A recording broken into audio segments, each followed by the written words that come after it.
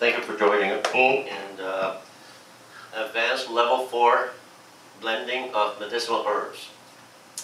Uh, We did, we were introduced to the medicinal uh, properties of the herbs in uh, level two, in, in, in the basic format.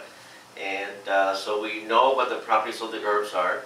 And for us, it's very simple. What we have to do is transfer the knowledge that we have of the oils and the flavor of the tea, as we mentioned before, is the essential oils.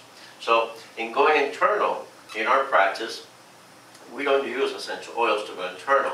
Uh, but we do use the essential oils as we take it out of the herb uh, with the water, with, uh, with hot water or hot steamy water, not boiling water. And uh, that's how we extract it. Uh, remember that we mentioned before, there's um, a few ways of extracting the therapeutic material from the plants. One is distillation, and that's the essential oils. Uh, in that system, we're able to extract X amount of the properties of the plant, and uh, it takes a lot of material to make one drop. It takes 20 pounds of the material in an average to make one drop of essential oil. So we use that. And, and then we have an extraction with uh, hot water. And we're able to extract, which is in tea form. And we're able to extract the properties of same essential oils uh, into the water and in tea form, so we can take it uh, internal. Example, if lavender essential oil is anti-inflammatory, besides all the properties that it has, then lavender flower tea, which is what I'm drinking right now, is anti-inflammatory also, with the same properties. And then the third uh, way to extract the herbs that we use in our system is in tincture form. We take the herbs, and we're able to take the blends that we're going to be blending of herbs and put it in a mason jar, and that is uh, filled out with vodka, and then we're able to extract much more of the therapeutic properties of the oils than we did in distillation or tea. So the tinctures are extremely strong. They also get to ferment over time. But for that, you need to view the uh, blending session on blending tinctures. Uh, at, at whenever you have a chance to do so. It all combines because when we're uh, offering an option for insomnia, uh, a synthetic medication, which has side effects that many really would like to avoid, uh, we get a lot of, of, power, we get a lot of effects when we um, get into the oils and do a mixture with the oil or a synergy with the oil, when we do a blend with the herbs, and when we do a tincture and combine the three of them for that individual to consume uh, prior to bedtime or a few hours before bedtime. And we're able to replace medications as the side effects are no longer, um, well, they're too high. And, and, and the person has an option to, to choose the non-toxic approach, which is what we, uh, what we practice. Uh, very unique because we're paying attention to science that is not being practiced in uh, medical consultation.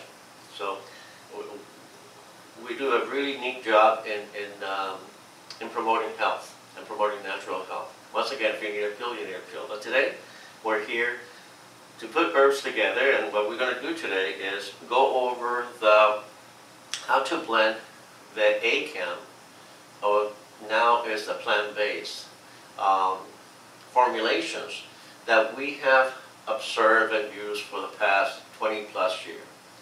And we have the time frame. That's another uniqueness of our, of our uh, practice. We make sure we have time frame.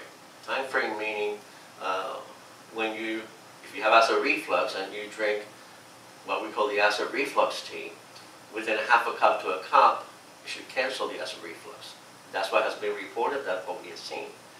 And that's a powerful and effective tea that people can uh, escape the pill and acid reflux. So that's one less pill they have to take. And at the same time, side effect of all these teas are anti-inflammatory. Since now we know that all illnesses are inflammation, then it makes sense, and we do that in our practice, uh, to replace anything that is inflammation from the water, from the products, from the medicine, from the foods, from the air with anti-inflammatories. And this is one big part of it. So let, let's begin. Uh, to make the, the blends that we have used through the years, we began with three herbs in equal parts. One of them is calendula. And I'm going to put them together here.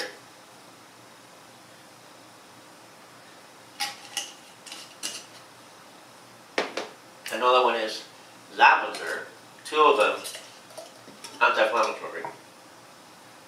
And we do in equal parts.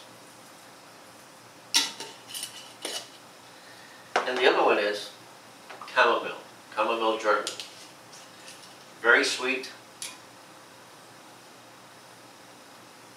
with uh, validation, chamomile and lavender uh, has their insomnia validation. Uh, so it, it is scientifically validated uh, as an insomnia aid, and it's very powerful. So we have those three together. We begin with that. From there, we can do many teas by just adding different other herbs to this mixture. So make sure you have paper and pen ready. And uh, of course, this is a recording, so you can rewind. But it will do you good to, to write the formulations as we go. Uh, the formulations are also found in the text on, on level four, but uh, do get a get a paper and uh, pencil or pen and uh, begin to write the formulations because it's very simple to blend the herbs for a particular um, condition. And the simplicity begins with these three anti-inflammatory herbs. Now, this is the blend by itself that we have used and recommend to bring down the eye pressure. It has been reported. And when we do it for the eye, we make it in a tablespoon rather than a teaspoon. It's a tablespoon and a cup of hot uh, water, not boiling water. Remember, we don't use boiling water with the herbs or we kill the properties. Just like if you're cooking vegetables, the more heat you add, the, the less properties you're going to have. So the same thing with the herbs. So it is steamy water, um, one tablespoon. We wait around 10 minutes until the water cools down. And then with cotton gauze, we soak them, or with a pipette, or with a dropper. We can take a drop and drop it directly in the eye. Um, it is anti-inflammatory. Remember, all illnesses are inflammation problems. And it also soothes the eyes. It's excellent for folks who have to work in fluorescent lighting all the time or in front of a, a computer. We recommend it on a weekly basis for those who are exposed to uh, the fluorescent lighting or computer lighting. Uh, to take the inflammation from the eyes, also uh, antibacterials and they're antiviral, lavender, as we learned on uh, level two. So at the same time, it works really good for minor eye infections. And you know, that's what we recommend. But, but the person, if they have an infection of the eye, they need to go to the doctor and get diagnosed. But this will alleviate the problem as they get their appointment for the doctor and so forth. So we begin with this three. Now, if I want to turn this combination into an acid reflux tea, remember we have here equal parts of lavender flower, calendula flower, chamomile flower. So now for an acid reflux tea, we're going to add spearmint and peppermint. Now we mix it together, we use a wooden spoon and a level teaspoon of that in a cup of hot steamy water. Uh, for the person that has acid reflux, uh, finished with a cup, they're going to begin to feel alleviation. And uh, it has been reported within a cup, it cancels the acid reflux. Now, if they do this regularly, many of them don't have to be on that medication, which is great. One less medication to take, one less group of side effects to face with. So the, let's say that now we want to make a muscle relax tea. So with a muscle relax tea, we're going to take some sage dalmatian. Remember the Synergies, the ACAM Synergies, which we also cover in level four. And if you haven't seen that blending video, it's good to view, but in that Synergy, uh, we mentioned that the muscle ache Synergy has essential of sage and clary sage because they're muscle relaxers. And they have lavender because it's an anti-inflammatory. And that's exactly what we're going to add now to this three combination of anti-inflammatory. We're going to add the muscle relaxer. So we're going to put three quarters of sage and then equal parts of the rest of the herbs. So three quarters of sage and then equal parts of lavender, chamomile, calendula. Then we're going to add marjoram, which is a mild muscle relaxer. It's also good for relaxation. Remember marjoram essential oil. We use it for antidepressant. So marjoram is good for relaxation. So now we have we have added muscle relaxers to these three anti-inflammatories. Now we have a muscle relax tea that will relax you. You don't have to drink the whole cup uh, before you realize you're uh, very nicely sedated. It's, it's very relaxing because of muscle relaxer. Uh, it's also a strong anti-inflammatory, so we recommend that to be used at nighttime before bedtime. Because, as we mentioned before, inflammation moves in at nighttime. So it's good to drink water, and it's also good to drink tea in that water. So this is one of those that we recommend for muscle relaxers, together with the product that we made with aloe vera and the muscle ache gel uh, in product making. Um, that was level three. And the synergy we made in the ACAM synergy in level four, which is a muscle relaxer. So together with the application of this tea, and of course the removal of anything that is inflammation that causes um, inflammation and, and, and, aches.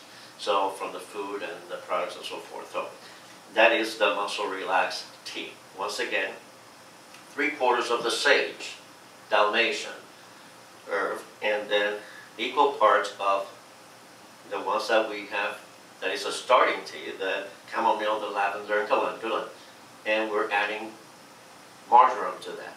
That's the muscle ache tea. But now let's say that we want to make a sinus and cold tea. And formulations that we have tried for years, once again, you realize that this formulation is not new to us. We did not copy it from somewhere. We actually created this uh, for the needs that we had in front of us. And we have seen it work, and we have that time frame. Uh, that is very important to talk about. So you know that this is not uh, one of those new formulations. This has been definitely people tested through the 28 years we have been uh, gathering information and practicing plant-based care. So the next one that we're going to do is going to be uh, for um, energy. We're going to do a tea with energy. Now that requires, remember the synergy for energy. It had rosemary, so we're going to put rosemary herb here. It has pep uh, peppermint, we're going to put it here. We're going to put spearmint, and we're also going to put basil. It's going to be equal parts of that. Now for the energy, we're not going to use these three anti-inflammatory herbs. So we're going to not use the lavender, uh, nor the eucalypt, I'm sorry, the calendula, and um, the chamomile. So for the energy, the formulation is equal parts of rosemary, peppermint, basil,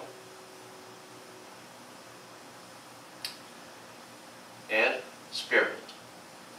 And that is an excellent energy tea, which is also great for the stomach. Now, if we want to make this a sinus and yes, we're going to now bring back those three um, herbs that we began with, which lavender, calendula, and chamomile, because of their uh, antibacterial, antiviral properties. So for in there, we're going to add to that is rosemary also. We're going to add for its properties and its energy.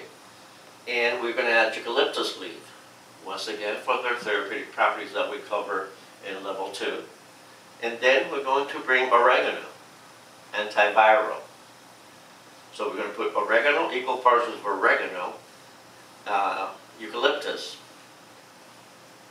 rosemary, and then we're going to add vitamin C by adding rosehip. See, vitamin C is definitely not a white pill. Rosehip is red and is active. And we're able to put live vitamin C in our tea. And that's what we do with our sinus and cold tea. So let's review the sinus and cold tea.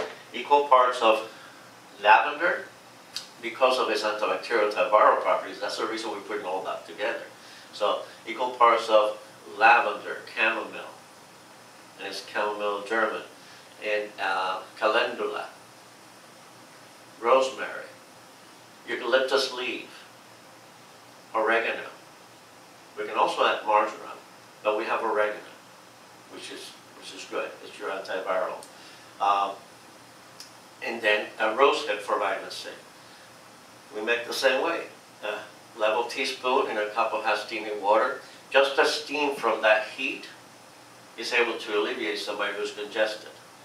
So that one in combination with uh, sinus and cold synergy and the essential oils is an excellent combination to take care of anybody's uh, discomfort from getting a cold, from getting a sinus problem. So that is the sinus and cold tea. Now, you also have other blends that you can make uh, for inflammation. Most all the herbs are anti-inflammatories.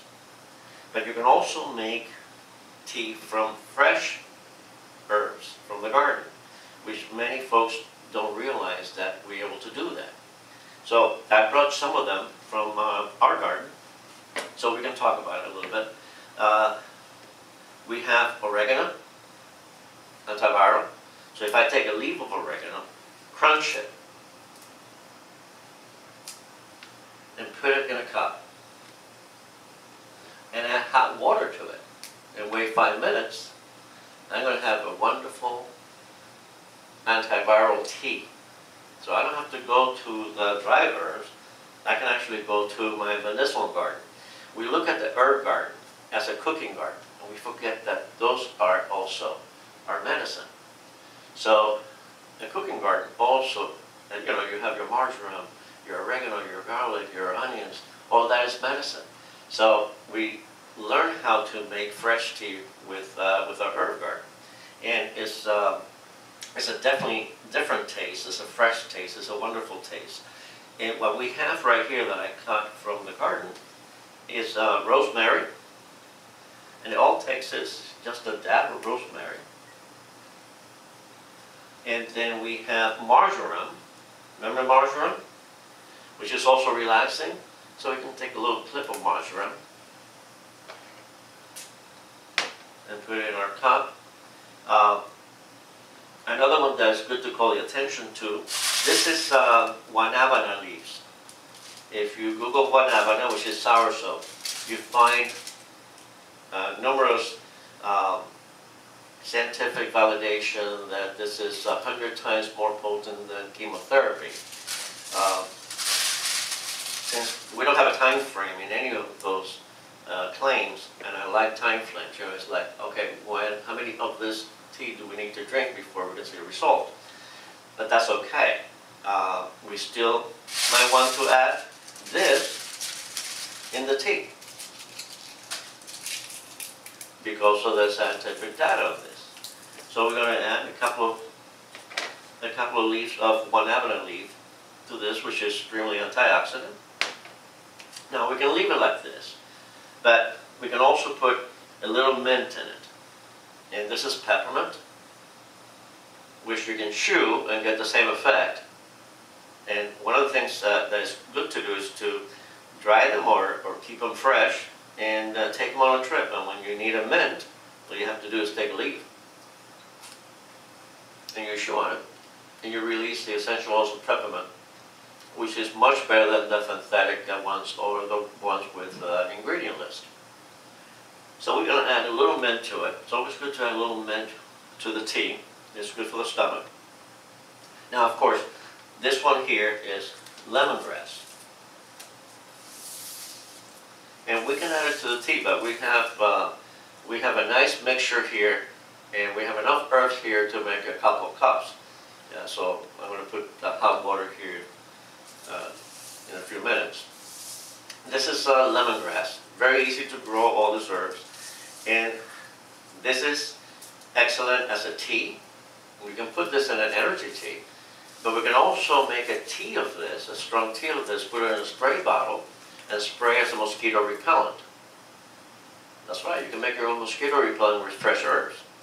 And then if I really interested in making a mosquito repellent uh, with the fresh herb- uh, herbs, I will definitely plant neem and citronella.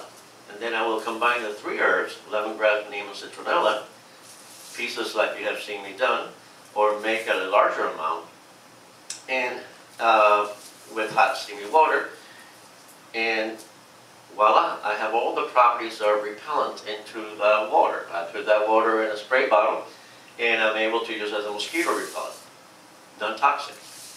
So that's a good thing to get involved with. Now, I also cut something that's very familiar to many of us, which is a piece of aloe from the garden, and, and most of us don't realize that we can make a tea from the aloe, which is excellent for our stomach. So for those who have a wheezy stomach or a stomach problem, uh, in the old days, uh, we used to cut this in half, my mother did, and she used to put it in a, in a jar of water, and that would be the water that she would drink. And that would soothe her stomach. Now, there's a lot of um, validation of that on this aloe, and much more for skin, um, as a, as a, as a healer of skin. So what we want to do, if you want to make a tea, you can uh, take a little slice and put it in a cup and put hot water and wait your 10 minutes, and that will be your tea. Uh, or you can take the gel and do the same. So aloe is another one you can go ahead and, and, and throw in and make a tea. You can make a tea of anything that has a smell, that has a flavor. Just make sure it's medicinal. And make sure you know when you make the tea because you're extracting the properties of that material into the cup to ingest. So that pretty much concludes our blend of, of different products uh, that we make in the blending of, uh, of our tea blends. Uh, there is, we cover the tea for as a reflux, we cover the tea for muscle aches, we cover the tea for inflammation, we cover the tea for energy, and there's a tea for cleansing that we used to do, uh, which brings in different herbs are known to cleanse uh, the, uh, different organs. But then we, we came across kombucha, which we cover in, in, uh, in this level, level four, in the advanced blending, how to make kombucha. And that's what we have seen that really detox the system, which is one of the main things that uh, we need to do because, as we mentioned before, we're breathing, we're feeding ourselves from the air of our environment. So it's important to know what kind of chemicals are laced in that air that's feeding our cell and, uh, and to clean our cells. That's the moral of the story, to detox.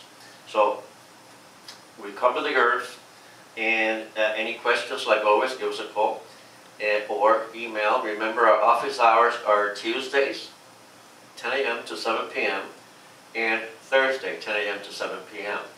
So, any questions for the course? Give us a call. If you have, if you have gone all the way up to level four, we already have talked on the phone. This is the final level. This is where we learn to put it all together. So bring your questions. This is how we also get the feedback. This is how we also learn so we can share with you. Thanks again. We'll talk soon. We're going to continue uh, uh, to see what other blends and other products work and bring them to you as, as come available. Thanks again for joining us. Until next time, remember, with this team, this health. Thanks again. Peace to you.